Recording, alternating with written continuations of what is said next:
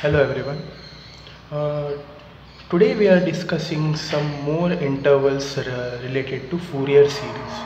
So till now we have discussed uh, the uh, the interval from minus pi to pi, uh, all the conditions, the Bernoulli's rule, and uh, all of the uh, Fourier coefficients for three cases, neither even nor odd, even, odd.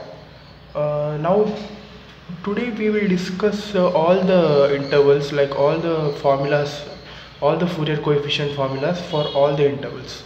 Uh, the intervals we are studying today is 0 to 2 pi minus L to L and 0 to 2L so I'm not going to drag in up but because the formulas are uh, mostly the same for all. So now let's start. So this is the interval from 0 to 2 pi the same thing we have three cases. Neither even nor odd even function odd function. For each case there are uh, three set of formulas for all the Fourier coefficients. So for in case of uh, interval 0 to 2 pi the in neither even nor odd the formulas goes like this. A naught equal to 1 by pi 0 to 2 pi f of x dx.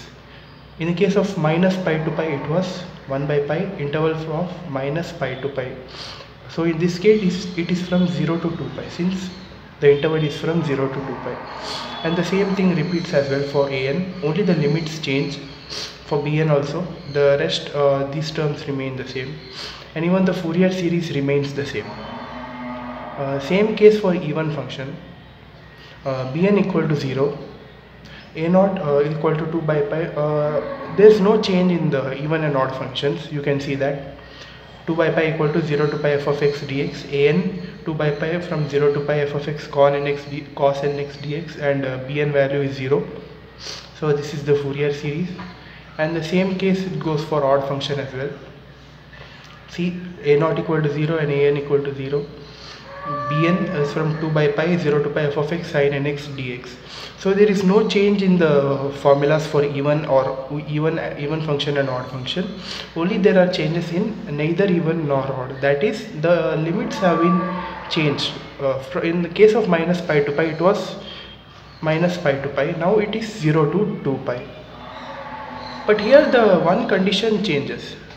That is in case of minus pi to pi the first step what we were doing is we are we were replacing the value of x by minus x right? So in this case the there's a slight change. That is we were we are not replacing the value of uh, x by minus x. Instead of that we are doing replacing the value of x by 2 pi minus x. I'm re I repeat again. We are uh, replacing the value of x by 2 pi minus x and the condition remains the same. If f of 2 pi minus x is equal to f of x then it is even. If f of 2 pi minus x is equal to minus f of x then it is odd. So this is all about the interval from 0 to 2 pi. Uh, wait there is a one more point to discuss. I'll tell you that. Yeah. So if uh, same thing if f of x is a discontinuous function in this case also there are uh, two values for f of x that is phi of x and xi of x. But here the limits change. In from minus pi to pi it was minus pi to 0 and 0 to pi. Here it is 0 to pi and pi to 2 pi. That's only the change and rest all the things remains the same. And here also there is a slight change. Like uh, we were replacing phi of minus x right so in this condition uh, we, have, we have to when the f of x is even it should the condition should be f phi of 2 pi minus x should be equal to xi of x. And phi of 2 pi minus x should be equal to minus xi of x when f of x is odd. That's only the change. Rest all all the things uh, remains the same. So here only there is a slight change in the intervals from 0 to 2 pi so that's why I've uh, st stressed a lot for um, from uh, uh, like I've uh, gone deeply in uh, the interval minus pi to pi because uh, you need to understand that thing. If you don't understand that the, the rest all the topics are like very tough. So you need to understand that that's a basic. So yeah that's all. We'll get to the next interval. Yeah. So this is another kind of interval. That is from minus L to L. Here basically uh, the intervals are constants. L means it's a constant. For example uh, right I'll write an example here. In question uh, till now the intervals we were discussing that minus pi to pi is 0 to 2 pi. Now what is minus L to L? It's basically uh, they're the both minus L and L are numbers like a single number. For example let's consider L uh, L equal to 1 if L is equal to 1 the intervals would be from minus 1 to 1 that's it. In the question they will be giving uh, different numbers like from minus 1 to 1 minus 2 to 2 minus 3 to 3 like that. So L are basically constants uh, basically numbers. From 1 to infinity they can give any numbers so that's all that's all. That's only the change and uh, same thing for follows. Neither even nor odd even odd.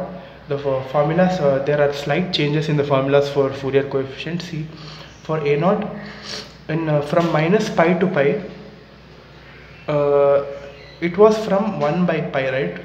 There's, uh, not, there's no change here also.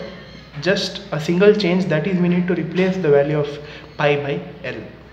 That's it rest all the things remains the same in case of minus L to L everything remains the same. See 1 by pi uh, in case of uh, neither even nor odd here it is 1 by L. In case of from minus pi to pi it was 1 by pi and there's even a small change as well here. See you can see here.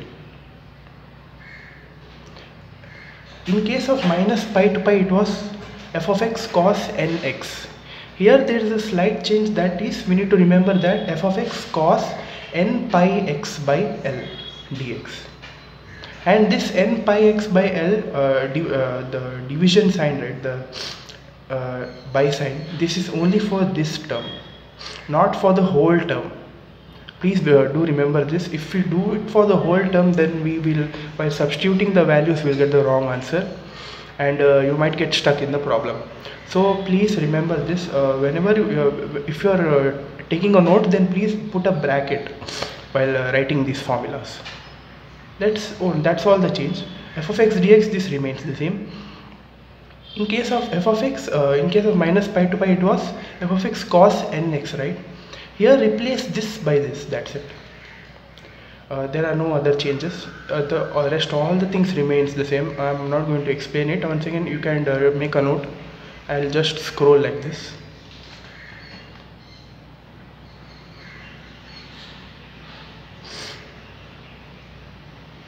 Rest all the things remains the same. It's a, a copy of you can say that it's a copy of from minus pi to pi. That's it uh, only the uh, intervals change that is from minus pi to pi it, becomes minus L to L where L are constants. See even the condition remains the same we have to replace the value of x by minus x uh, even odd yeah. So this uh, this is all about from uh, minus L to L. Even in case of discontinuous function uh, the conditions all remains the same even only the limits change from minus L to 0 and from 0 to L. Same thing both phi of x and y of x even the condition is the same. So this is all about minus L to L. Uh, now we'll discuss from 0 to 2L yeah this is from 0 to 2L yeah this is again similar to 0 to 2 pi. Again the same thing. Here it was from 0 to 2 pi in case of uh, interval 0 to 2 pi. Here it is 0 to 2L and 1 by L. Rest all things remains the same. Only the change is from cos nx uh, now it is cos n pi x by l as I told. And this term we need to put in a bracket because uh, you won't get confused while doing the problems. And just all the things remains the same even the Fourier series everything remains the same. See for even function bn equal to 0 uh, only the value of pi we replace it by l. See rest all things remains the same even in case for odd function it remains the same but the condition is for 0 to 2 pi it was f of 2 pi minus x right? In this case it is f of 2l minus x that's it. You have to replace the value of x by 2l minus x so that we get the respective even and odd functions. Yeah. Okay. So till now we have discussed uh, three intervals in today's video and uh, one interval in the, our previous sessions uh, those four intervals are minus pi to pi 0 to 2 pi minus l to l 0 to 2 so th those are all the uh, intervals for a full range Fourier series right so now we are going to discuss about half range Fourier series so what do you mean by half range? See the topic only suggests the word half. Half means the intervals gets splitted. Okay. Till now we are we were discussing full intervals from minus pi to pi, 0 to 2 pi, minus L to L, 0 to 2L. In case of half range the intervals gets divided. The intervals get divided.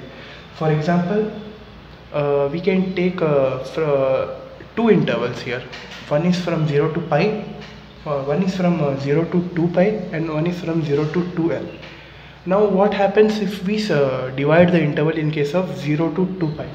It becomes 0 to pi right? It becomes 0 to pi.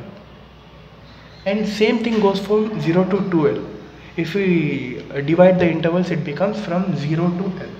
That's it. That's only the co concept here. The intervals get divided and there are two cases basically one is for 0 to pi intervals and one is for 0 to L intervals. And there are again the set of formulas for Fourier coefficients. But this half range Fourier series right it gets divided into two types again. One is for sine half range Fourier series and another one is for cosine half range Fourier series. So First we'll uh, discuss about cosine half range Fourier series. So first I'm going to explain you all then uh, I'll give you the set of formulas. So first let's see uh, what is cosine half range Fourier series. The word suggests the word uh, the sentence itself suggests the word cosine. What do you mean by cosine? Cos of any angle uh, it may be positive or negative the result is always cos. It won't be negative right. For example cos of 90 is cos cos of minus 90 is also cos. So we can say that uh, cos uh, half range Fourier series is an even function.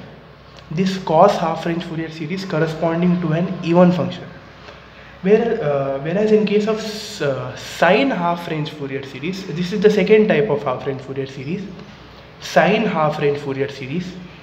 Here also sine uh, if any any sine positive angle for example sine 90 is equal to the positive angle of sine that is sine but it's not the same in case for negative. So example if we take the angle sine of minus 90 the answer we get is minus sine 90 right? So this corresponds to an odd function. So we can say that sine half range Fourier series is an odd function so th that's all. There are two uh, two kinds of Fourier series half range Fourier series. One is cosine and one is sine. And for cosine there are two cases as I said the two intervals that are 0 to L and 0 to pi. Same thing goes for sine. There are two uh, two cases two intervals 0 to L and 0 to pi. And there are a set of uh, Fourier coefficient formulas along with that. There are Fourier series yeah that's all. So uh, now I'll write the formulas and display it to you all. Yeah see? These are the two kinds of series cosine and sine. And these are the set of formulas. As I said there are two cases. One is one interval is from 0 to L. Another interval is from 0 to pi. And uh, and in my explanation I've told that cosine uh, is a, a cosine corresponds to an even function so in even function we know that bn equal to 0. We have the uh, formulas for a naught and an that is a naught equal to 2 by l interval 0 to l f of x dx an equal to 2 by l interval 0 to x f of x cos n by x by l dx and this is the required Fourier series. Same similarly in case uh, in uh, 0 to pi interval again bn equal to 0 we have the values for a naught and an uh, the l value is replaced by pi rest all the things remains the same. This is the Fourier series.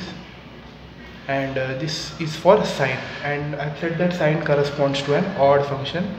Here also we have two cases. That is one is from 0 to L and another is from 0 to pi.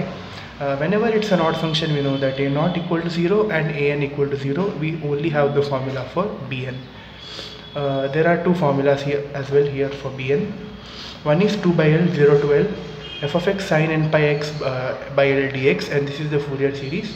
And in case 2 from 0 to pi again we have the value for bn. And this is the Fourier series. Yeah.